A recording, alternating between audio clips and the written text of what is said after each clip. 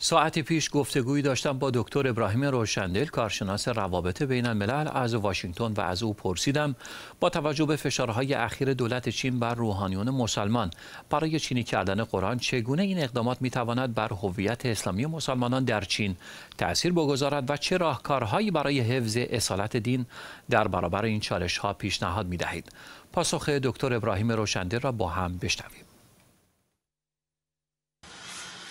ضمن عرض تشکر از دعوتتون خدمتتون عرض بکنم دولت چین با توجه به سوابق رفتاری بسیار بدی که با جمعیت مسلمان اویغور داره و شهروندان این کشور رو همواره مورد آزار و اذیت قرار داده یکی از نکاتی که در اینجا خیلی برجسته هست اینه که مبانی فکری و نظام ایدولوژی که مردم مسلمان رو تلاش بکنه که همسو بکنه با سیاست های سوسیالیستی خودش. و این یک سیاست هوشمندانه هستش که دولت چین تلاش می‌کنه با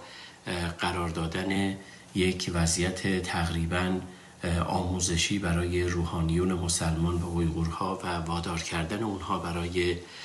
ترجمه و تفسیر قرآن و یا ترجمه اون به زبان چینی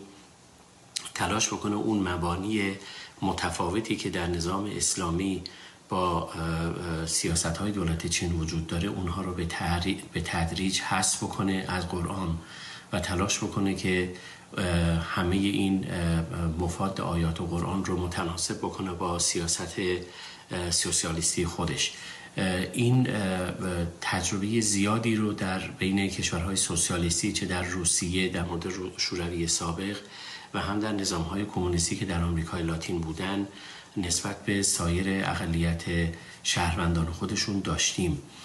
به همین دلیل یا برخی ورود می‌کنن به تغییر در حوزه ایدولوژیک اینها یا برخی کشورها تلاش می‌کنن که مبانی فکری و سیاسی این اقلیت ها رو به تدریج تغییر بدن تا متناسب با سیاست های داخلی خودشون باشه. طبیعتا دولت چین از طرف مسلمان ها و مبانی فکری اسلامی که همواره دنبال اجرای عدالت و شفافیت در روابط انسانی است تلاش بکنه که اون مبانی اخلاقی و مبانی عدالت طلبی رو به نفع خودش ترجمه و تفسیر بکنه. من گمانم بر این هستش که این سیاست ها تشدید پیدا خواهد کرد مگر اینکه یک نظام مشخصی در جامعه مسلمان ها بتونه دولت چین رو مجاب بکنه و وادار بکنه که از ورود به حریم باور ایدولوژیکی مسلمان ها پرهیز بکنن. خیلی ممنونم. بله با تشکر از دکتر ابراهیم روشندل کارشناس روابط بین الملل از واشنگتن که دعوت ما را پیرامون این گزارش پذیرفتند.